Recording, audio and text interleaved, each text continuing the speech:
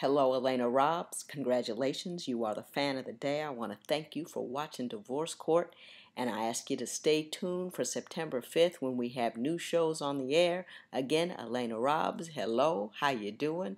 Thanks for being the fan of the day.